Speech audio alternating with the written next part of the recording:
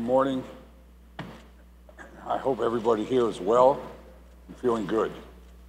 For me, this is a very exciting day to introduce Mike McDaniel and his family and welcome them to the Miami Dolphins.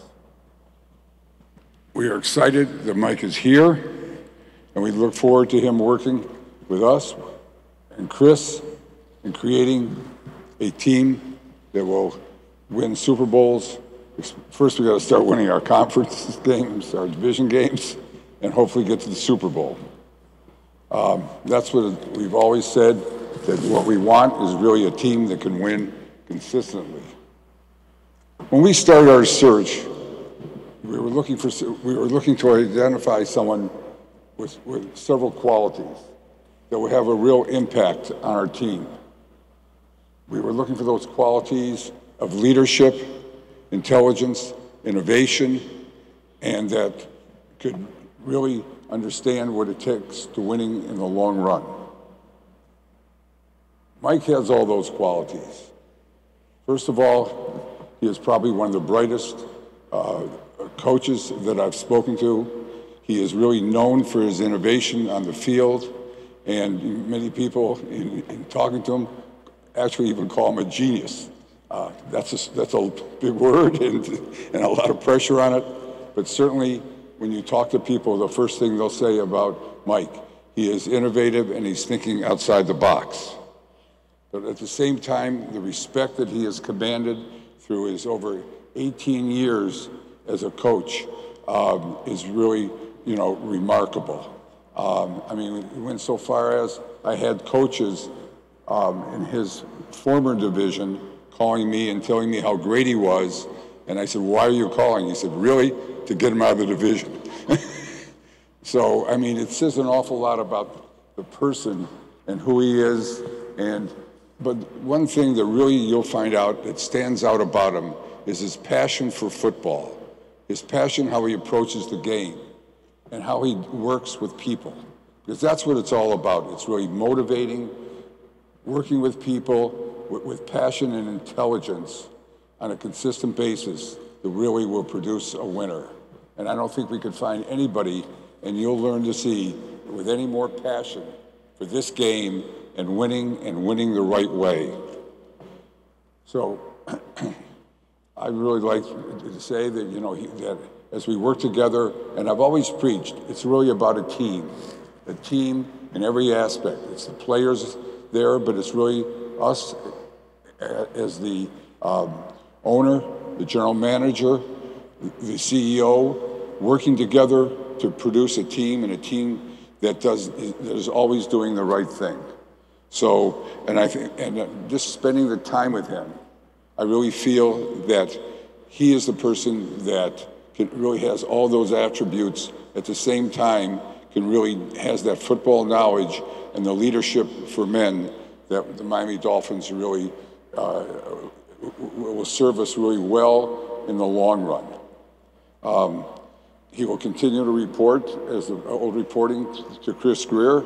Chris Grier reports to me and works together with Tom and me, actually, Tom Garfinkel, in, in really leading the Miami Dolphins.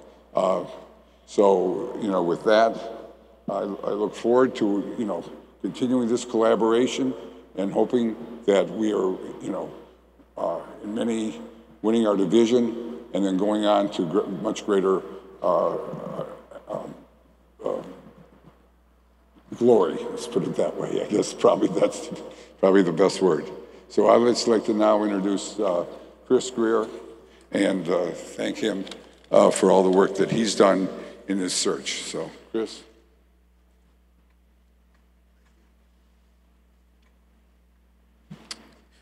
Good morning. Uh, first of all, Steve took um, basically all my jokes and thunder for everything on this and uh, to compliment um, Mike, so um, this might be shorter than expected. Um, really, we're tremendously excited uh, to welcome Mike and his family here to South Florida uh, as the leader of the Miami Dolphins.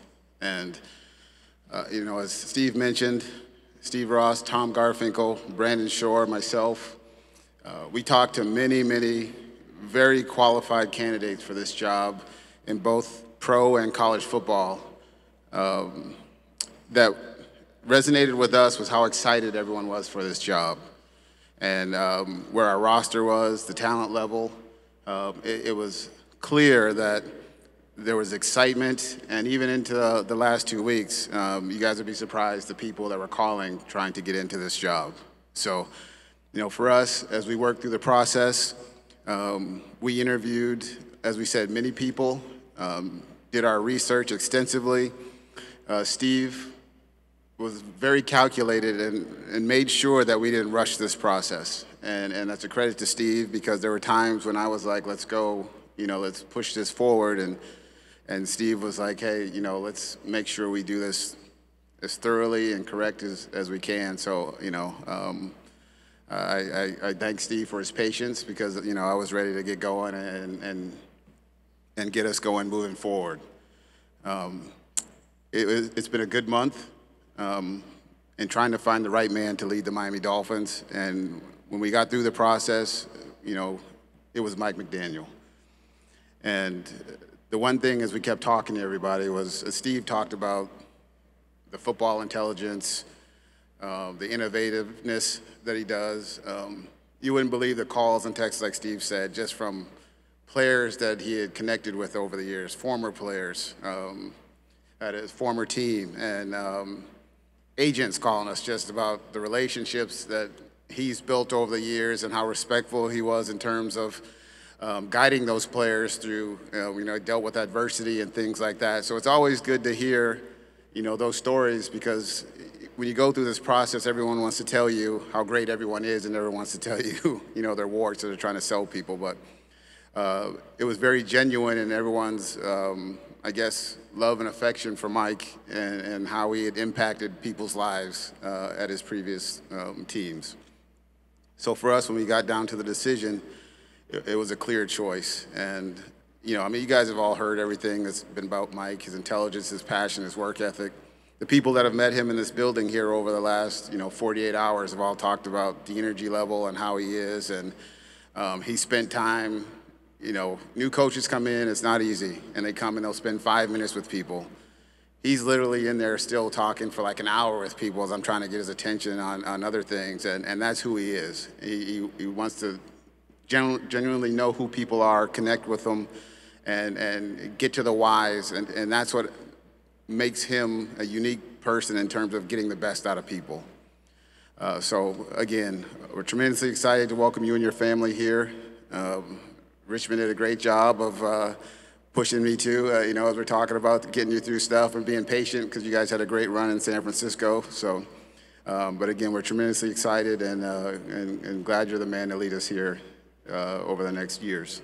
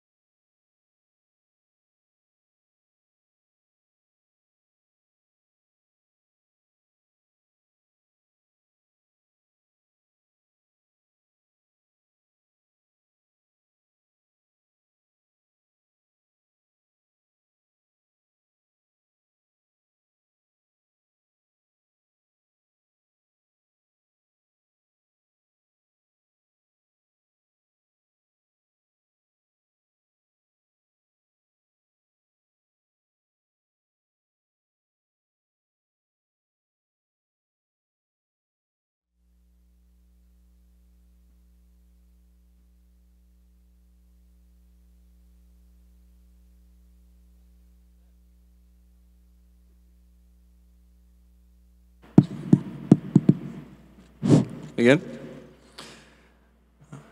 All right, it's a, it's an honor and a privilege to stand in front of you guys here as the head coach of the Miami Dolphins. You know, any, any man standing at a podium like this would be honored, would, um, it's a tremendous accomplishment, you'd feel great about that. But that's not why you get into coaching, is standing at this podium. You get into coaching because you love to coach football. You love to teach, and you love to make people better. And that's exactly who I am, who I have been, and who I'll be as the head coach of the Miami Dolphins. The, I'd like to thank those wonderful words um, from both uh, Steve Ross and Chris Grier. Um, I, I really appreciate the opportunity and the responsibility, really, um, and it is a big one. But like to talk about me coming here to Miami um, about a week ago. You know, I was coming um, here to interview for a dream position, a dream of mine. And uh, that's what I thought it was. But as I walked through this building, the, the gorgeous building we stand in, um, saw the people, looked into their eyes, felt their passion, I quickly realized that this was my dream job and I had to go get it. Um, that one of the things that really struck me with the Miami Dolphins organization was their interest in general. You know, it's a lot easier um, to uh, go after a guy after five other teams have interviewed him, put him on a list. You know, traditionally, that's that's the way it works, where people want whoever other people are interviewing. This was not the case. They looked at me for me, and that really galvanized my interest um, in this organization and really told me a lot about who, um, who was really targeting me. Told me a lot about what they were looking for, and that's why I knew it would be a good fit. You know, interviewing with uh, Steve Ross, Chris Grier, um, Brandon Shore, Tom Garfinkel, it didn't take me long to realize this, this was the place that I was meant to be, um, so I better not screw this interv- interview up. Um, you, take, you take a look at the facility um, that's built here, which is, I feel like I'm in an SEC school. It's incredible. Um, the stadium, everything going on around it. I think it's a, it kind of epitomizes um, Steve's vision. And that vision is broad, it's grand, and it's trying to be great. And that's what I'm here to uh, get the football to. And that's what we'll do. And real, really, that's why I feel honor and I feel privileged just being up here in front of you guys today. Uh, I'd be remiss if I didn't thank the immense amount of people that had to do with, with me even having this opportunity. You know, starting with Kyle Shanahan, Jed York, um, and his family, John Lynch, and the 49ers organization. They're a first class organization really um, helped facilitate me coming into my own, I feel like. And it, without the players who, who is the people that you really get into this business for, all their support, all their hard work, um, and, and their commitment, None of this would have been possible, and I thank all the 49er players as well. The, to get in a spot like this, it's almost overwhelming to think about how many people are along the ride with you that if one of them doesn't decide to invest in you, you may never get this opportunity. You know, it's one of the great things about coaching and the coaching profession is it takes a village to just get one individual capable of doing a job like this. You know, I, I can go down the list, um, starting with Mike Shanahan, gave me my first job. Um, it was unpaid though, so he didn't pay very well.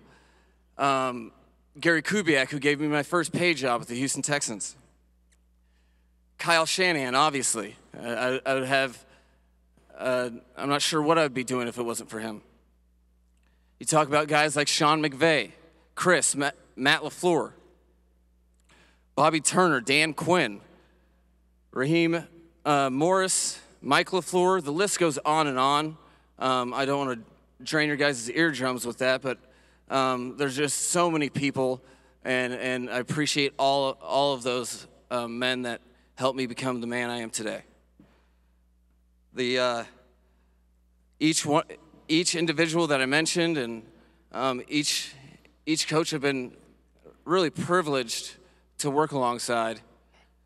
They made me a better man, a better coach, a better teacher, and that's really what my focus is in life. They didn't make me a better father, I did that on my own. Um, I'd like to thank Richmond Flowers. It is surreal, man. Came a long way, and uh, you know how much I appreciate you. Um, Ann Noland, uh, this emotional day for me, um, and you made it somewhat coherent, I hope. Uh, obviously, my family. My wife, Katie McDaniel.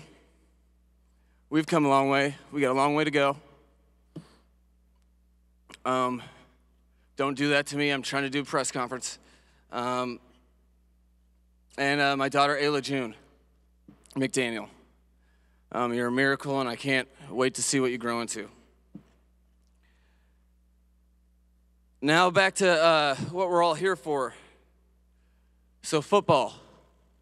Okay, and the Miami Dolphins, and what you can expect from us. Okay, uh, schematically, offense, defense, special teams, you're going to see um, a unique, um, a unique design of everything that's tailored to our players.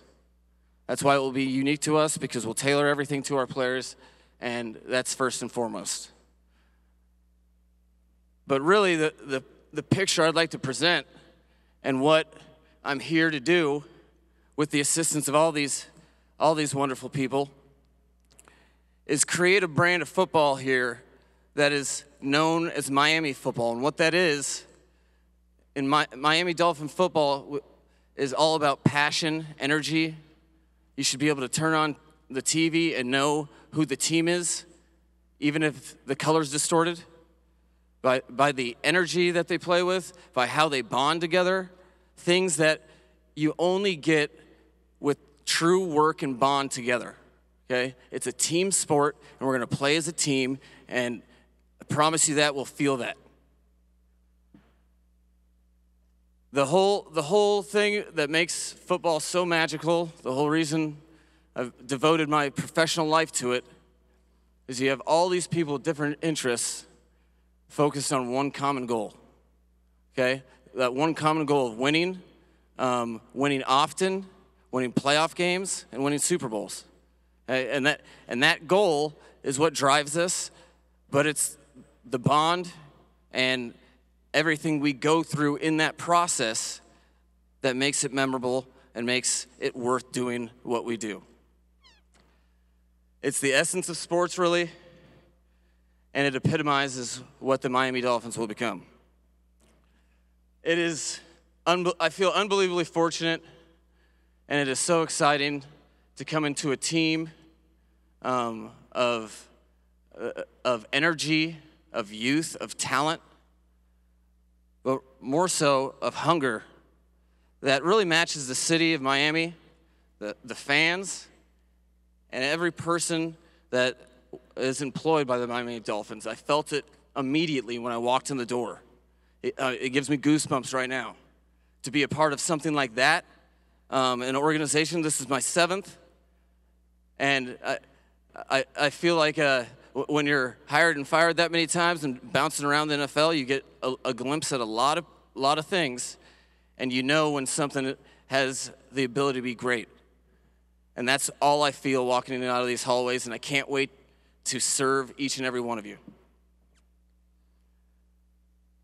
I think collectively, the, the, one of the most powerful things um, within these hallways, within this organization, that I think should be focused on um, is the, the lack of ego and, and the, the drive with a common goal. You know, as in interviewing in this process, it's all about one thing. And, and that is a rarity, something special, and I am so fortunate to be a part of. But that collectivity and, and working together for um, with a shared sacrifice is something that can't be replicated, and I'm extremely fortunate to be a part of. Now, I think this is always odd because you're you're getting all hyped up for um, a media session, and then we just go back and study film, put put uh, coaching staffs together, um, and uh, then get ready to practice. Um, hopefully, we teach the players what what the plays are before we do that. That uh, that whole process, um, although it's anticlimactic, it, it is part of it, and and I can't I can't express the gratitude um, to everyone to allow me to be up here and to be a part of it. Um, and there's no better time to start this whole process than right now. Thank you, guys. Or questions? Hey guys, um, we're gonna take questions. We have two mics. Um, Brett and Renzo each have a mic. Raise your hand, we'll bring it to you, and please say your name and your affiliation uh, when you get the mic. Thank you.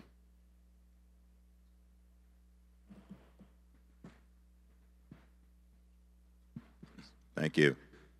Mike, uh, Jim Berry, CBS 4 here in Miami. Welcome to South Florida. Well, thank you, Jim. Appreciate it.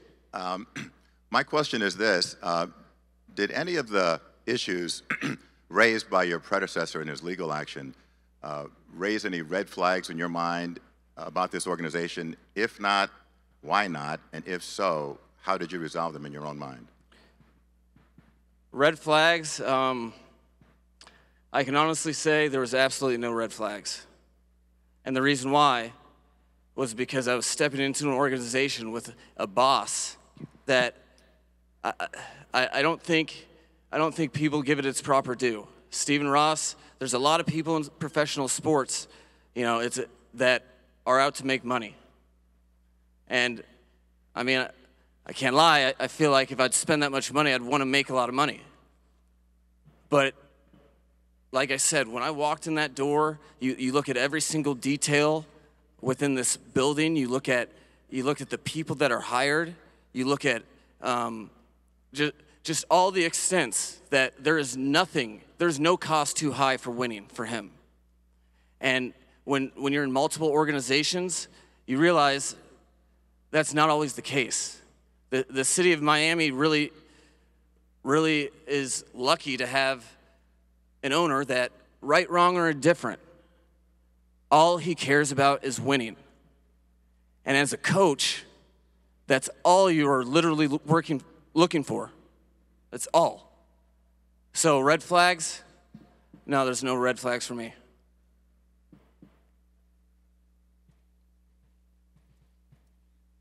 Hey Mike, how you doing? Cam Wolfe, uh, NFL Network. Welcome to South Florida. What's up, Cam? How you feeling? Um, obviously, when you start, the offense start, everything's going to start with the quarterback. What's your belief in Tua and him leading you guys into the next season? My belief in Tua is that he's a football player on this team that's trying to get better. And the biggest message I have for all players, really, the message should be about the team. And what I mean by that is it's really about the team collectively getting better, and there's a responsibility of the quarterback to do so. But I'm not necessarily, I'm not sitting here concerned with how good Tua can be. I'm concerned with, as a collective unit, what we can grow together because that's what wins football games. There, there's, I haven't seen a quarterback win a football game by himself ever, really. Um, he has to have somebody throw to. He better not be getting tackled before he throws, so somebody better block. Um, and the defense better not allow them to score. But the, the biggest thing for, for me with Tua is that I want him to come in and work every day, and I'm very confident that he will. I want to provide teachers that can develop him. I'm very confident in, in the people we're, we're, we're discussing this week and the, and the plan we have for that. And ultimately, all you want is a, is a guy that's driven to be great, a guy that's driven to get better, and it gives you a chance. Um, and it's my job to make sure that he has the best chance to showcase his talents um, and and that and that's everyone's job really. Hey, Mike, Dave Hyde of the Sun Sentinel. Uh, welcome to Um, over here. There we are. You alluded to earlier the Dolphins were the one team to talk to you for uh, interviews. How do you know you're ready f- for this job? What, what told you, okay, I'm ready to be a head coach in the NFL? Um, uh, it's it's funny that every head coach, you know, there, there's a lot of talk about being ready to be a, a, a new head coach, and and I think um, you guys have had new head coaches. The the thing that kind of trips me up is every single head coach in the history of football has never been a head coach until they're a head coach. And for me, um, the comfort level within the hallways, I, the really, really, it's every year of my experience, especially the last five years that head coach Kyle Shanahan in the 49ers, he really relied on me, allowed me to be uh, his right hand man, and and opened my eyes to all the things that a head coach does. Not to mention all the other years where I've had great teachers, and the key for me is paying attention. It's right in front of me. And so when I do get my opportunity, I've been fully aware whenever that day comes, the responsibility it brings, the, the responsibility you have to every individual that's employed in the organization, their families, every player.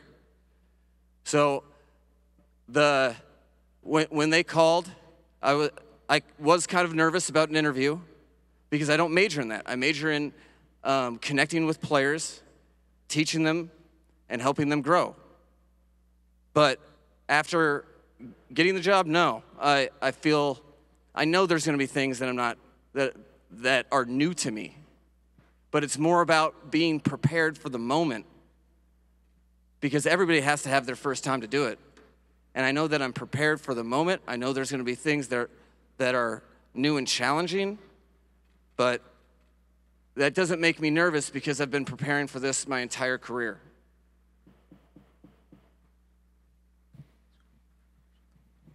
Hey, Mike, right here in the center. Will Manso with WPLG TV here in Miami. Welcome to Miami.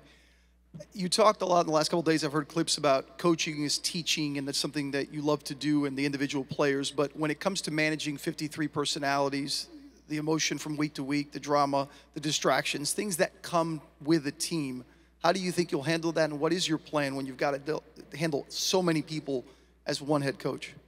Uh, my plan is to handle it well. And and how you do that is you just you take you know coaching in um, coaching a position group. Eh, There's a transition to coach a position group group to be an offensive coordinator. Um, that that told me a lot about what I thought it was. And there will be a transition to coaching 53 men, which um, is that's at the low end. There's also practice squad and training camp roster. So I'm I'm prepared to coach more of those guys um, than ju- than just that. But yeah, there's challenges.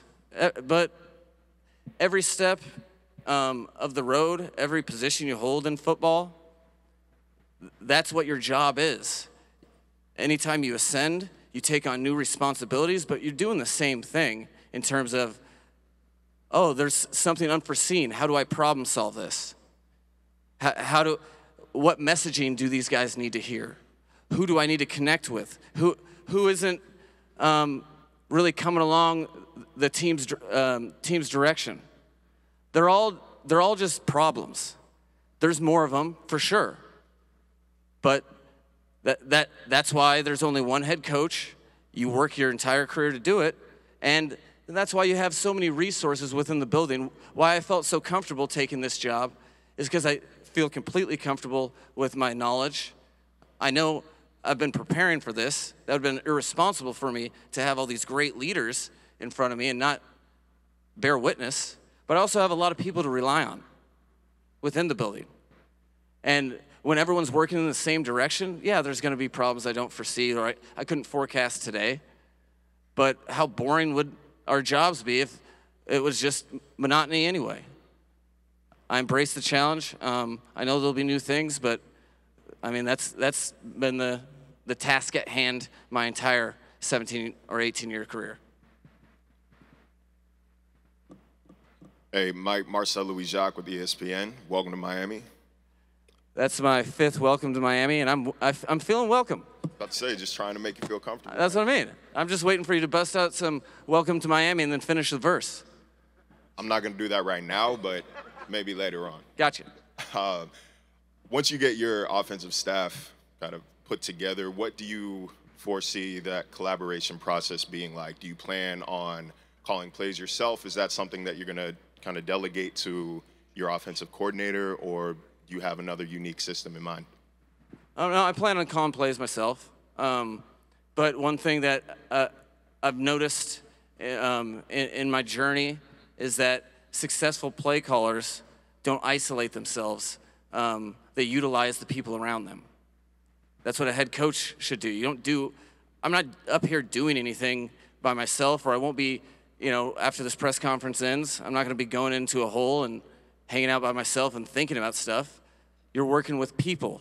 So the, the higher your leadership um, with, with regard to a head coach, the more people you have to lead. As an offensive coordinator, you call plays, but if you're a head coach and calling plays, you better be reliant and feel very good about the people on your offensive staff.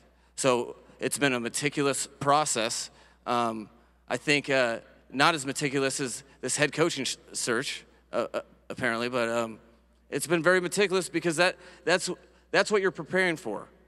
You know, I know exactly what the season's going to bring um, in terms of, you know, there, there are so many things that go on in the course of the season, and there, there's stressors, and you have to worry uh, um, ab- about um, kind of focusing the direction of the team. But that's why you spend this time in the off season finding the people that you can rely on, that you can trust, um, and work with, so they can help you game plan, help you solve problems. Um, we can get the best plan together, and then, you know, when the players own the plan, you're just calling plays, but they make them come to life. Hey, m- oh, Hi, Mike. Omar Kelly with Sun Sentinel. I wanted to ask you about your upbringing in the NFL. Um, Gary Kubiak, Shanahan, both father son. Uh, your background, West Coast offense, heavy run-based offense. Is that sort of a sample of, of what you believe is winning football in the NFL? And, and what do you think it takes to win in the NFL from a, from a play call standpoint and, and scheme standpoint? Uh, I understand what you're getting at with the question. I, I really like the question, but connecting it to winning, that's that's a team deal. But for offensive, offensively, with regard to scheme, I have I have an interesting story because I you know I started with Mike Shanahan and immediately went to Gary Kubiak, and it's rare to work um, 15 years in the NFL across six teams and have the same system. So, in that, what what you end up doing in the same system, you're not constantly trying to relearn how to do things. You're constantly evolving to the point, you know, when, when you're at your fourth or fifth year within the offense, and then you go to your third team. Now you're you're reinstalling. So you found th- your, it's your third rep of first introducing the same scheme, while also it's your there's a completely different set of players. So within your scheme, you are tailoring it to whoever they are. You, you, you go, I mean, what was it, my second year in, in Washington? Collectively, we, we drafted uh, um, Robert Griffin III and ran a bunch of zone read. You know how much zone read experience our staff had? Zero. And we didn't get, go, any cli- uh, go to any clinics. We didn't, um, we, we really did it with the old old-fashioned hard way grind and what that afforded all of us when you're talking about all the guys that were there in washington is in our formative years our our minds are open to adapting to whatever uh, means necessary to whatever player skill sets all the way to the quarterback so because of that every single year you know, people call our, our scheme so creative.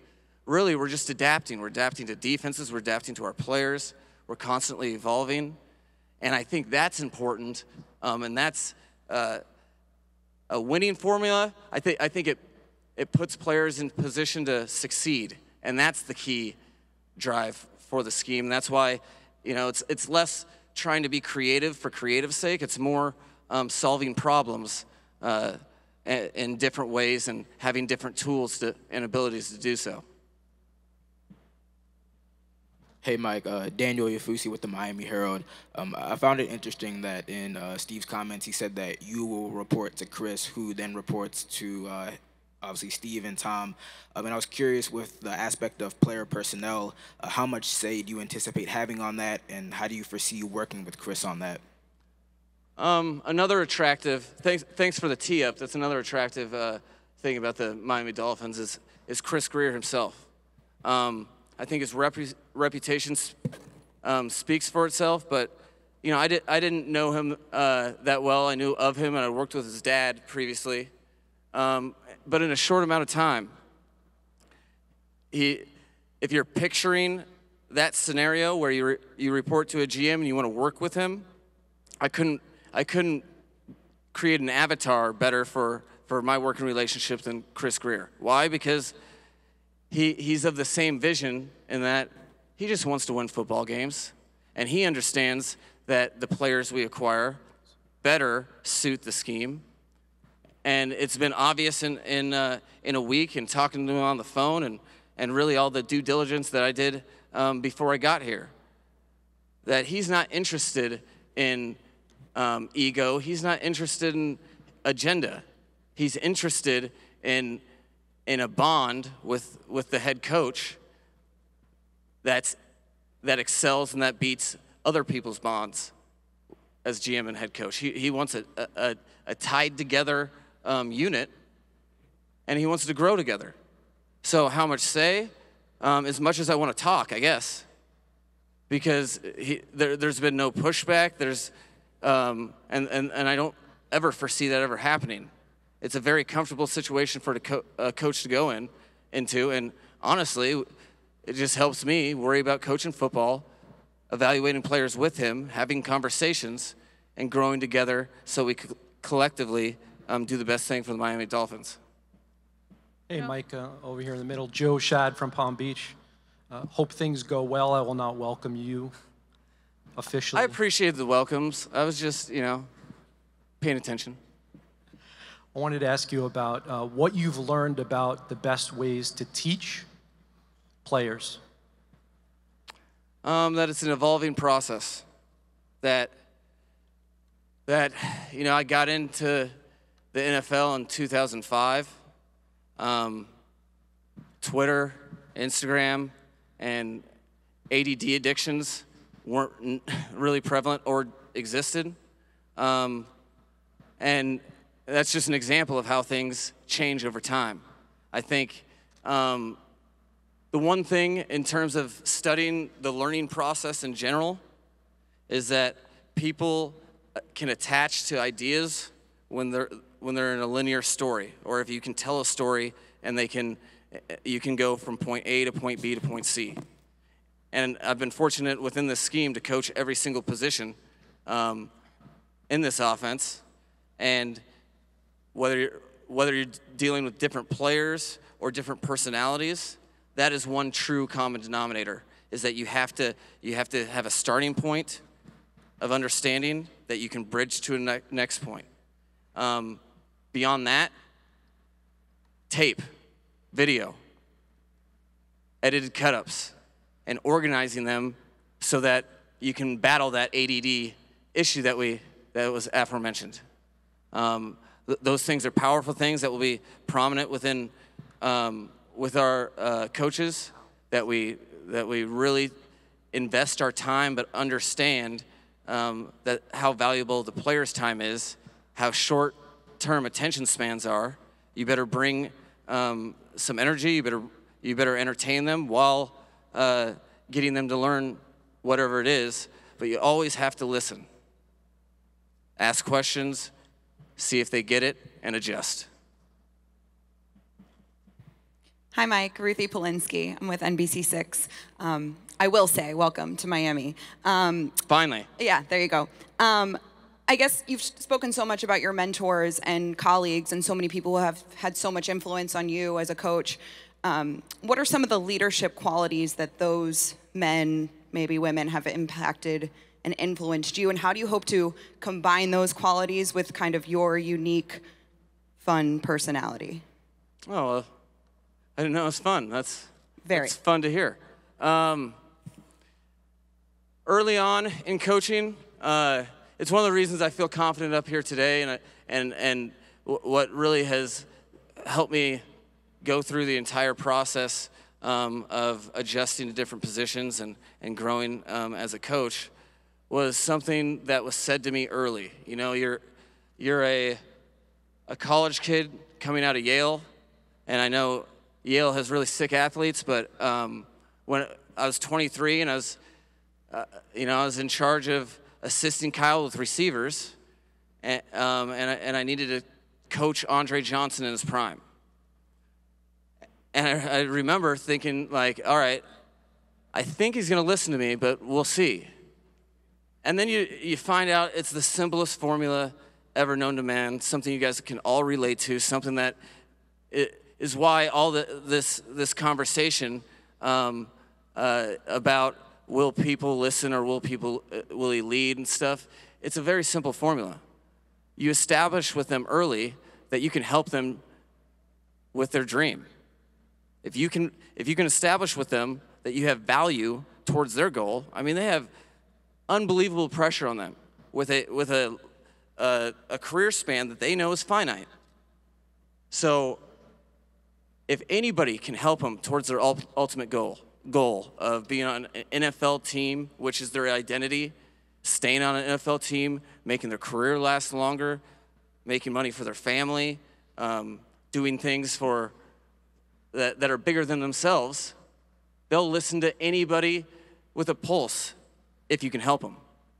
And, and that fundamental tool I've applied across the board with the, with the other uh, little mode of wisdom that I received, which is people respond to authenticity.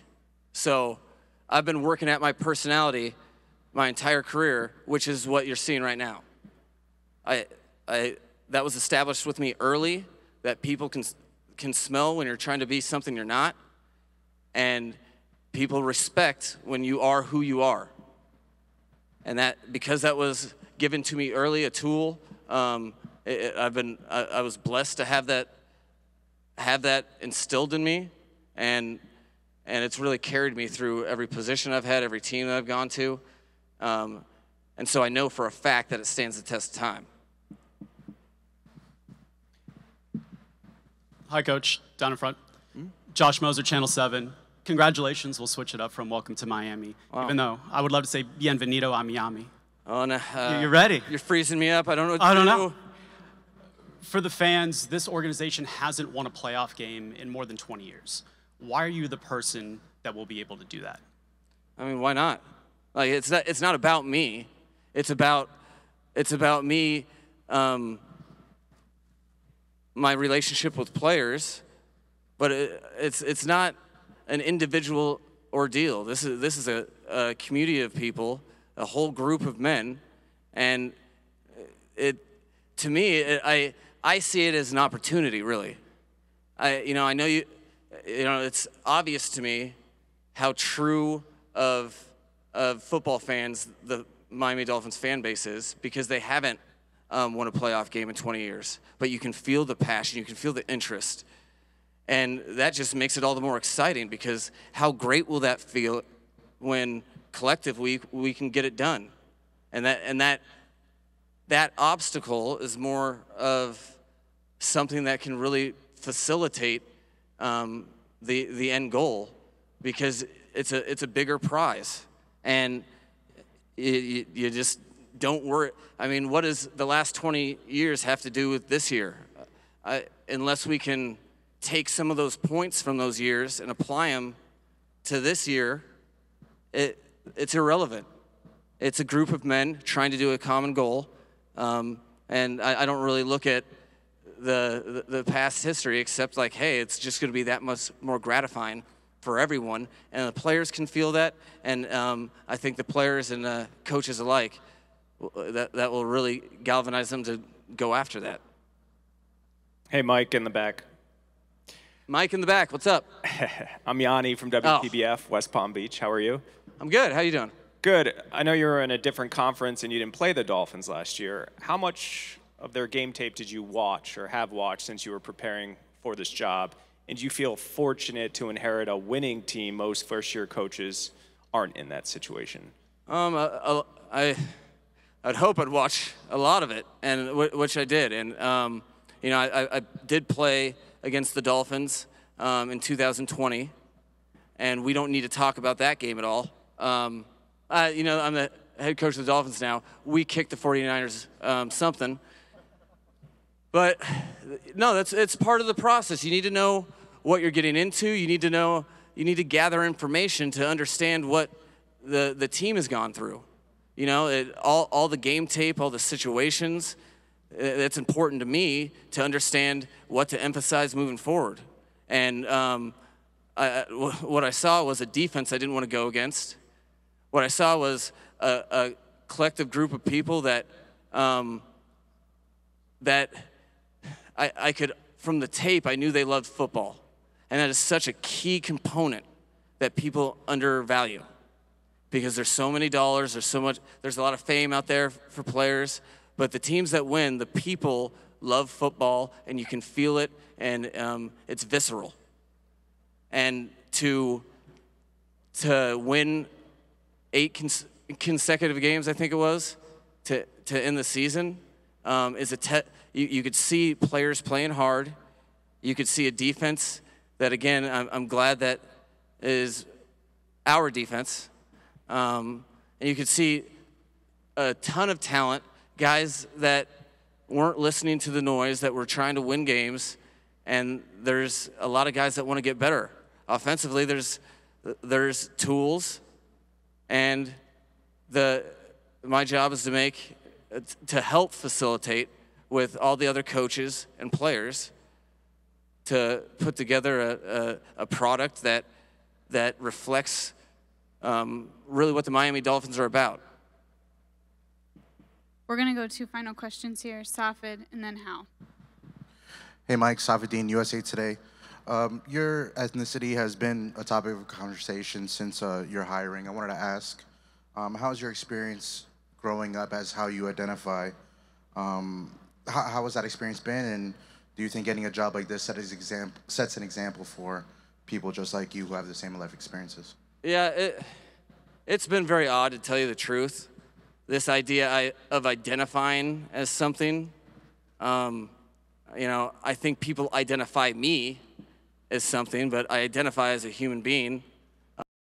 Uh, it, it, and my dad's black, so whatever you want to call it. Um, I know there's a lot of people with a shared experience, but it doesn't make, you know, it, I'm just it, it's weird that it comes up because the the you know I've, I've just tried to um, be a good person and I think I think my background opens my eyes a little bit. Um, I don't have any um, real experience with with racism because you know I, I think you identify me as something close to I don't know, um, but I know my, my mom experienced it when she uh, married my dad. I know my dad experienced it, and that's in my family. But um, I guess that makes me a, a, a human being that can identify with other people's problems. Final question, Hal. Hi, Mike. Hal Habib with the Palm Beach Post. And I will say for the last time, welcome to Miami. Um, I want I want to take you way back. We all read the stories about you riding your bicycle to Broncos practice.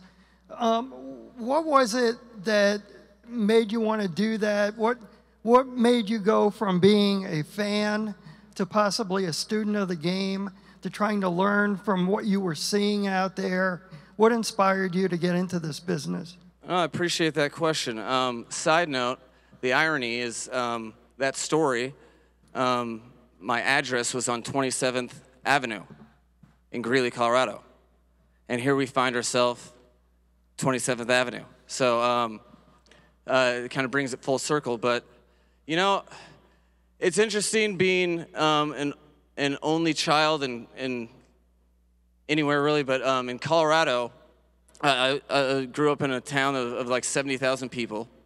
And um, I didn't really have much to do. Um, I guess there was a park with a lake with a lot of um, goose droppings at that I could go play at. But other, other than that, like the Broncos were the big deal. You know, that, that was, um, and again, when, when I was younger, um, it, it was cool to watch something where there was guys from different ethnicities working together. It was the first picture I had of that, um, which, you know, I, I noticed when I was at my grandma's house. That it was, eh, so that was kind of intriguing. Football in general, I like football cards, um, and I was just obsessed with the Denver Broncos at the time. So all I wanted to do was get autographs and be around them. And I was, I was and continue to be pretty obsessive compulsive. So I'd ride there about seven o'clock in the morning and, and get as many autographs as I could and stay there till seven at night and ride back home. Um, but when I did, in doing so, um, I think it built up the game of football in my eyes. I think I had an appreciation for um, the amount of work guys did because I'd get there at seven and I'd watch them um, walk from the cafeteria to um, to uh, I can't remember the, the facility's name, but to the gym and get dressed for practice. Then I'd watch them go practice. I'd try to get autographs when they'd come back in behind the yellow rope. And then I'd watch them go to the lunchroom and then turn back around and go do the same thing again in two days. And I think it, I think it built sort of this um, idea that cool things you have to work for in, in that process. So um, I, I wanted to be a pro football player. Uh, and but I, I had uh, I don't know I had a good awareness level at a young age. Um, you know the, the, story is true. I, I wrote inside my hel- in my little league helmet that I will be in the NFL someday, and I had every sticker of every single team. I didn't say I'd play in it. Um, and you know the as you get older, you just figure you figure out that hey, if you want to be good at something, you better be passionate about it and my OCD made me passionate about one thing, and I chose to go after it.